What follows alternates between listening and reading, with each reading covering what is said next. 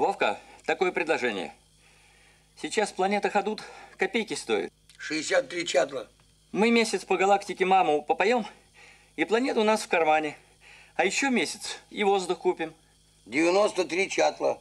У кого воздуха нет, все сюда насыпятся. Воздух наш. Они будут на четвереньках ползать, а мы на них плевать. Зачем?